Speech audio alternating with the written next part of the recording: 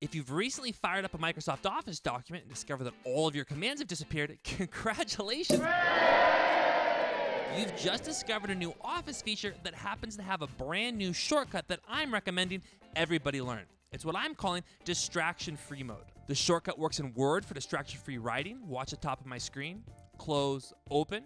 The shortcut works in Excel for distraction free modeling. Top of my screen close, open, and the shortcut works in PowerPoint for distraction-free sliding, close. You can even hide your thumbnails here on the left in PowerPoint to open up even more space to work with.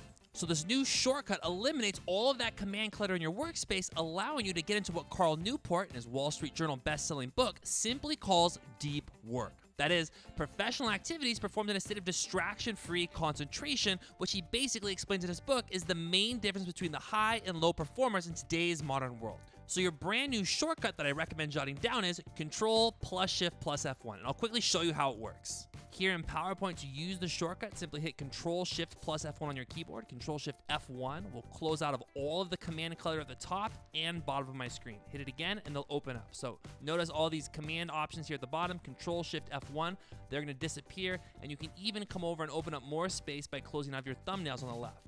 Now the cool thing about this shortcut is all of your ribbon guide shortcuts also work. So if I wanna quickly change my bullets, I can still use my ribbon guide shortcuts. But before I show you that, if you think you'll use this brand new distraction-free shortcut now that you know it, please take a second and give this video a thumbs up here on YouTube. It's an easy click for you and lets me know what kind of stuff I should be adding to my channel. So to use my ribbon guide to change the bullets, I'll hit and let go of the Alt key. You'll see the commands pop open. H for home, U for bullets. I'm not using my mouse, I'm just using my keyboard and I can just use my keys or arrow keys to choose any type of bullet type I want. I'll hit enter and you'll see those ribbon guides close back up again.